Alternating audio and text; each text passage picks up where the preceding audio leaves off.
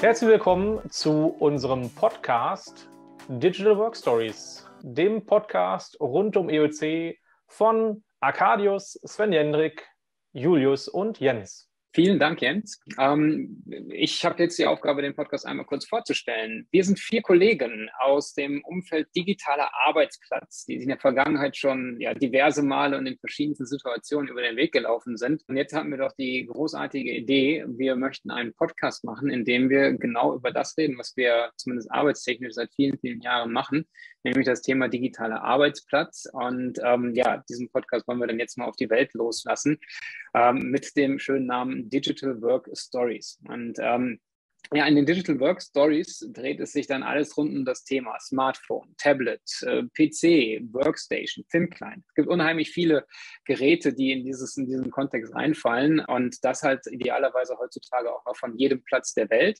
Und daraus wird dann halt grundsätzlich der Arbeitsplatz der Zukunft gebaut. Und der hat halt keinen festen Formfaktor mehr, der hat keinen festen Ort. Ähm, er ist einfach da und soll dann halt auch genutzt werden und auch Spaß machen. Und darum soll es halt genau im Digital Work Stories Podcast gehen, um Entwicklungen in diesem Bereich, um Innovationen und ganz wichtig, es soll auch immer wieder spannende Gäste geben, die halt ähm, aus dieser Industrie und aus diesem Kontext zu Wort kommen. Bevor wir dann aber jetzt starten, ähm, wollen wir uns gerne einmal etwas näher vorstellen und dafür übergebe ich an meinen Kollegen Arkadius. Ja, danke Jens für die Begrüßung und äh, Julius für die Vorstellung des Podcasts. Dann fange ich mal an der Erste aus der Truppe. Mein Name ist Arkadius Kowczynski. Ähm, ich wohne im beschaulichen Sauerland in der Nähe von äh, Dortmund. Wenn ich mich nicht gerade um den digitalen Arbeitsplatz kümmere, ähm, treibe ich gerne Sport, ein bisschen Crossfit äh, in meinem Home Gym und äh, mag es eigentlich immer mit meiner Frau und meinem Hund lange Spaziergänge zu machen. Ich selbst bin als Solution Engineer bei der VMware angestellt und wie schon gerade gesagt, beschäftige ich mich hauptberuflich äh, mit dem Thema Digital Workspace und versuche halt unsere Kunden und Partner im Thema Digitalisierung zu unterstützen. Im EOC-Sektor bin ich jetzt oh, bestimmt schon 12, 13, 14 Jahre unterwegs. Also eigentlich seitdem es äh, äh, VDI gibt, äh, bin ich eigentlich schnell dort angesprungen und äh, verfolge das Thema eigentlich die letzten Jahre immer aktiv. Und ja, bin halt äh, zum Podcast wie die Jungfrau zum Kinder gekommen. Äh, Kollege Julius hatte mich gefragt, ey, hast du nicht Bock, mal mit ein paar coolen Leuten einen Podcast aufzunehmen? Habe ich natürlich sofort Ja gesagt und ja, jetzt sind wir hier. Äh, ich habe die Vorstellungsrunde gestartet und würde jetzt weiter an Sven Hendrik übergeben. Ja, vielen Dank, Arkadius. Ja, mein Name ist Sven-Jendrik Timmermann. Ich wohne im beschaulichen Nottensdorf. Das ist im Landkreis Stade, nähe Hamburg. Meine Hobbys, ja, wie soll ich sagen? Ich habe auch einen Hund und halt drei Kinder. Ich glaube, viel mehr Zeit habe ich zurzeit nicht für irgendwelche Hobbys. Ähm, arbeiten tue ich für mein eigenes äh, Unternehmen, die SOT Consulting EK in Horneburg. Seit wann arbeite ich im EUC-Sektor. Den ersten Kontakt hatte ich mit VMware View, um da mal genau zu sein, äh, 2007 oder so war das. Also ist schon auch ein bisschen länger her. Und wie bin ich zum Podcast gekommen? Ja, der, der Jens hatte irgendwann mal gefragt, ey, Bock mitzumachen und da konnte ich einfach nicht Nein sagen. Und mit diesen Worten würde ich halt auch direkt mal an Jens rüberwerfen. Danke. Jo, danke dir, Sven Hendrik, und auch danke dir, Arkadius. Ja, ich bin der Jens Hennig, wohne hier im kleinen beschaulichen Oelde, das ist im Münsterland. Und ähm, ja, was habe ich für Hobbys? Neben der Arbeiten ist das zum Glück kein Hobby. Ähm, ich äh, segel sehr gerne, das natürlich nicht in der Gegend von Oelde. Wir haben ja nichts zum Segeln, aber dann halt äh, gerne Ostsee, Mittelmeer oder auch in Holland. Und ich bin ein großer Fan des Grillens. Ähm, meine Frau schimpft über mich, aber ich habe irgendwie äh, vier verschiedene Grille. Also ich sage mal, es ist ein Rudeltierengrill, der, der ist nicht gerne alleine. Ne? So wie wir, wie wir auch. Wir sind ja, auch mehrere Leute für den Podcast, nicht gerne alleine.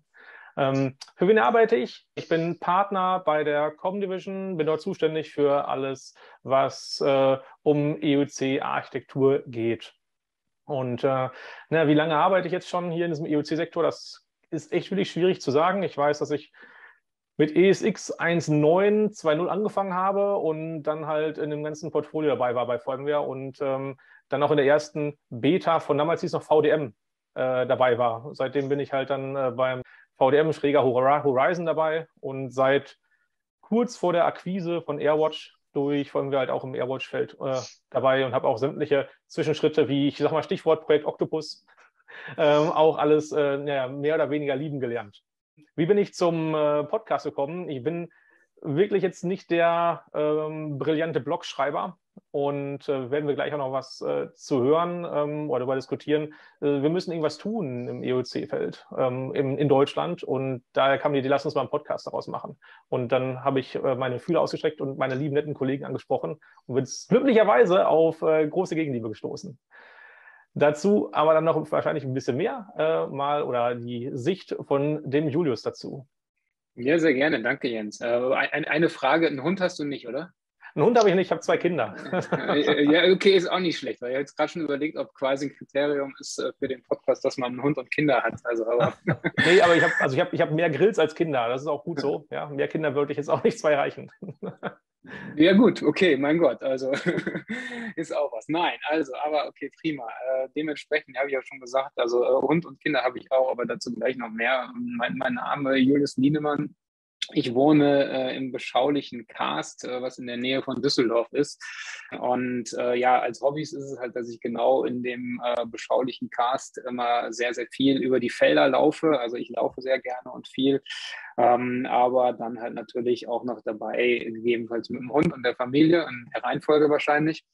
Und ähm, ja, neben der Arbeit bleibt dann halt irgendwo auch nicht mehr so wahnsinnig viel Zeit, weil wie gesagt, Hund, drei Kinder, ähm, Haus, Arbeit, dann äh, ist man eigentlich schon ganz gut so äh, ausgelastet. Und ja, wo arbeite ich? Äh, ich arbeite wieder Arcadius bei VMware und ähm, bin da auch im äh, Solution Engineering unterwegs und ähm, ja, dementsprechend gibt es da halt schon eine Schnittmenge wo ich da quasi arbeitstechnisch herkomme. Als ich jetzt gerade den anderen zugehört habe, habe ich mir irgendwie gedacht, ja, was sagst du jetzt Tolles?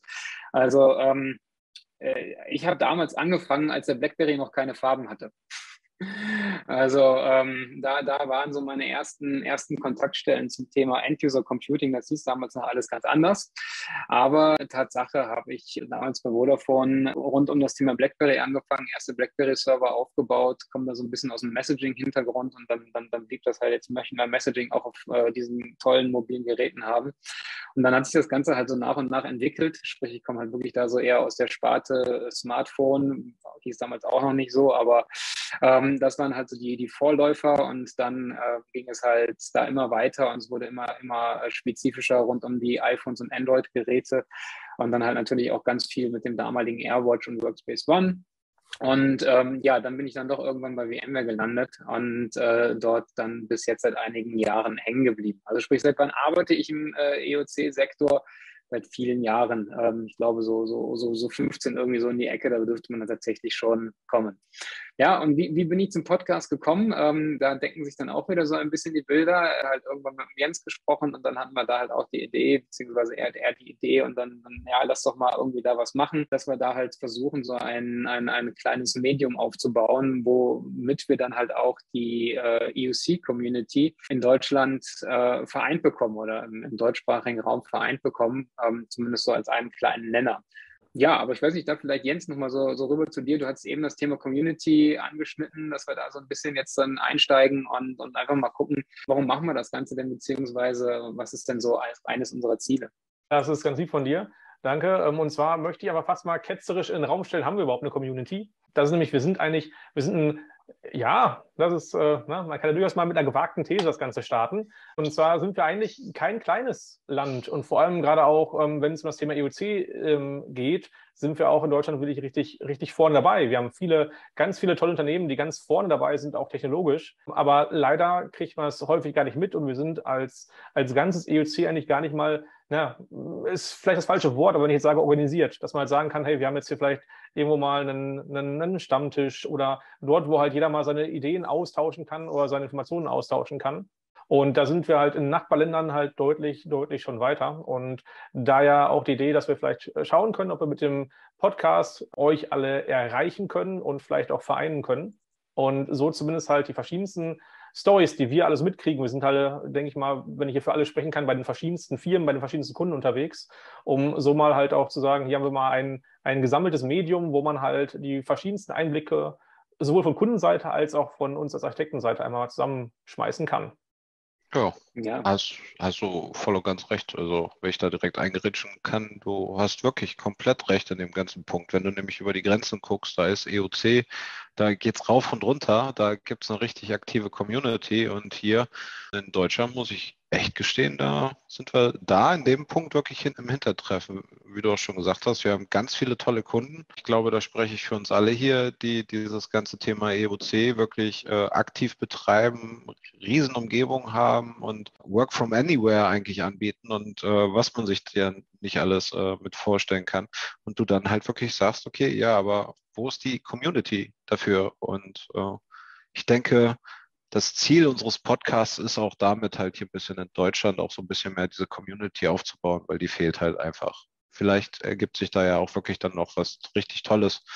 Und ja, wie, wie seht ihr das, Julius? Ja, die Frage ist, woran, woran, liegt das denn, dass wir keine Community haben? Also ja, es wäre total super, wenn es die geben würde. Und das Spannende ist ja auch tatsächlich, wenn es mal irgendwie ein Event gibt, wie eine, weiß ich nicht, wie unsere schöne VM World oder ähm, andere ja, ja WIMAG, also so Sachen. Ja. Man, man, man, man läuft sich ja durchaus über den Weg. Also wir, wir vier oder sowas in der Ort, auf diesen Events trifft man sie immer wieder, aber selbst wenn man jetzt mal sagt, man hat irgendwann findet ja manchmal bei Google finden Sachen statt oder sowas, ne, dass man da mal ist. Also man trifft ja immer denselben Kreis an Leuten so im Großen und Ganzen. Das sind dann so, äh, weiß ich nicht, 20, 30, 40, 50 plus x Leute und äh, manchmal trägt der eine dann das, das Namensschildchen mit einem anderen Logo drauf, weil er dann irgendwie gewechselt hat. Aber man bleibt ja der Branche an sich relativ treu und das über Jahre hinweg. Also, Die IT ist ein ähm, äh, Dorf. Äh, Richtig, man sieht sich mehrfach. Man sieht sich mehrfach, ne? Ja, das, das, das ist genauso gut, wie es schlimm ist. aber ähm, äh, auf, auf der anderen Seite ist halt aber trotzdem gesagt, man, man, man kennt sich. Es sind jetzt nicht wahnsinnig viele Leute, aber irgendwie einen gemeinsamen Nenner wo man dann halt sagt, so, da kommen wir jetzt mal irgendwie zusammen. Den gibt es halt irgendwie nicht. Ich frage mich eigentlich, warum ist das? Gibt es kein Forum? Gibt es nicht die richtige Plattform dafür? Ähm, äh, also weiß ich nicht, ob da, da ihr eine Idee habt. Also das, was ich jetzt äh, auch schon mal öfters ähm, selbst persönlich erlebt habe, wie du schon sagst, ne, wir haben viele tolle, oder wie wir halt alle gesagt haben, wir haben viele tolle Kunden, äh, wir haben spannende Projekte, die dazugehörigen Produkte.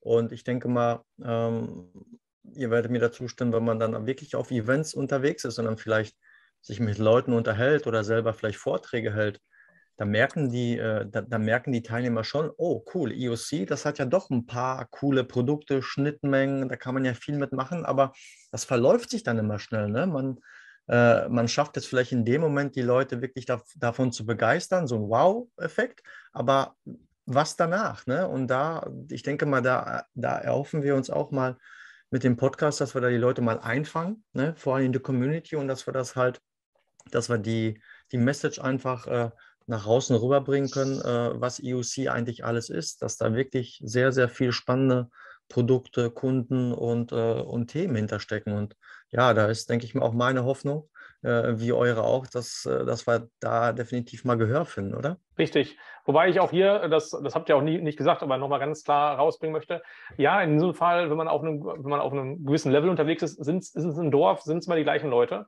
Ja. Aber ähm, wir machen diesen Podcast ganz gezielt halt nicht nur für diese Leute. Ja, also das ist für mich ganz wichtig zu nochmal ja. zu erwähnen. Also hier soll es natürlich schon mal um auch coole Advanced-Themen gehen, ja, aber ich, wir möchten hier auf jeden Fall halt auch den jeden mit abholen, weil eins ist ganz klar, und da hat keiner mit gerechnet, dass äh, durch die Corona-Pandemie ist das ganze Thema EOC auf einmal richtig wichtig geworden und megamäßig explodiert, weil schlagartig, das war für uns alle irgendwie schon immer klar, dass ja zum Beispiel ein virtueller Desktop oder generell halt ein digitaler Arbeitsplatz, um darauf mal zurückzukommen, eigentlich äh, eine tolle Sache ist und wichtig ist. Und schlagartig wird das für jeden Lieschen Müller und für jeden anderen auf einmal auch wichtig, weil das ihr einziger, ihre einzige Methode ist, irgendwie vernünftig arbeiten zu können und auch ähm, ich glaube, dass viele Leute auch Gefallen daran gefunden haben, dass sie gesagt haben, das ist toll, ich kann doch von zu Hause auch produktiv arbeiten und auch sicher arbeiten. Und ähm, deswegen habe ich auch die Hoffnung, und ich bin auch ziemlich sicher, dass so ist, dass wir in dieser Community auf einmal äh, relativ viel großen Zuwachs bekommen haben oder die jetzt gerade damit gestartet sind. Und was das Tolle ist, was äh, wir hier äh, machen wollen, ist halt darüber reden. Erstmal, warum ist das toll? Was gibt es für tolle weitere Themen? Ähm, wie kann ich das, was ich jetzt gerade angefangen habe, noch vielleicht ein bisschen ähm, ja, erweitern Ähm, oder wo gibt es dann vielleicht auch irgendwelche Probleme? Also ich ähm, bin ja ein großer Freund von, auch davon zu reden, da wo Licht ist, ist auch Schatten. Also möchte jetzt hier weder den einen noch den anderen Hersteller hochpreisen, sondern ich möchte auch ganz klar einmal den Finger in die Wunde legen. Ja, ja. das gehört auch ganz klar dazu. Und dementsprechend ähm, ja, soll das eigentlich der, der Podcast für, für alle sein hier, die halt sich äh, in dem, ja, jetzt in dem Bereich arbeiten müssen oder arbeiten wollen oder auch diese Arbeitsplatz bereitstellen wollen. Stimmt, ich denke, das ist eine gute, gute, gute Beschreibung und wie gesagt, es soll kein, kein Nerd-Talk oder so in der Art werden. Ähm, da, da, da wollen wir nicht in die Richtung gehen. Das, halt das können wir auch. Ein bisschen, ja, das können wir auch, aber das machen wir, das machen wir mit unseren Kunden ja meistens schon. Das stimmt. ähm, von genau. daher, nein, nein. Also es sollte halt auch sicherlich ein bisschen das lockere Format sein und wie gesagt, auch da spannende Gäste ähm, ist ein wichtiges Thema und ähm, dass wir da halt wirklich einfach mal das Thema eingefangen bekommen und jetzt nicht erklären, ich muss Knöpfchen äh, B an der Stelle drücken und dann hier Zertifikate und sonst was alles machen äh, so, so, so in die Richtung wird sicherlich nicht gehen. Ähm, da, da müssen wir dann noch einen zweiten Podcast für machen. Aber ähm, ja, ich glaube, wenn wir erstmal einfach grundsätzlich so miteinander sprechen und dann auch einfach da vielleicht gerne auch mal äh, regelmäßig das, äh, das, das, das Lied vom Scheitern ähm, äh, wiederbeleben, dass man sagt, hey, da kann auch mal was schiefgehen und das ist gar nicht schlimm. Das ist gar nicht so verkehrt, dass dann alle auch ein bisschen was von lernen. Richtig. Also, und es ist auch nochmal wichtig, dass wir halt hier, soll nicht nur um die neuesten Minimaß, Maximaß sein, die irgendwo irgendwo sind. Ja, das, äh, das, das kann jeder in jedem ähm, Blog äh, nachlesen, sondern wir wollen ja auch ähm, ein bisschen auf die auf die Stories dahinter, deswegen auch der Name, ne, Digital Work Stories, auf die Stories dahinter eingehen. Heißt es nicht unbedingt, dass jeder seinen, seinen Schwung aus seiner Jugend auspacken muss, aber durchaus ähm, gibt es hier ja mal manchmal auch die, die die tollen Informationen halt, warum hat jetzt ein Kunde sich dafür entschieden oder dass man den Hintergrund erklärt oder warum gibt es gerade hier Probleme oder was sind halt gerade die nächsten Schritte, die jetzt irgendwo anstehen, die sich aus einer gewissen Situation ähm, vom Kunden heraus ergeben. Das heißt, das ist etwas, was ich auch mir in der Community wünschen würde, dass man da einen regen Austausch pflegt. Und das ist halt das, was wir, glaube ich, vielleicht eben gar nicht so richtig in Worte fassen konnten, wo wir gesagt haben, wir wünschen uns eine Community. Da geht es jetzt nicht darum, dass man sich zum, äh, ne, zum Grillen treffen muss unbedingt, Oh, wir kommen zu dir. Oh, so. Wir kommen zu dir. das kann man einer dabei machen. Das eine schließt das andere ja nicht aus. Aber ähm, sondern dass man halt auch jeder halt dann, jeder hat ja seine Erfahrungen mitgebracht dahinter. Und jeder hat seine eigene Story dafür zu erzählen. Ja. Und ähm, das ist halt das Wichtige, was ich mir hierfür erhoffe.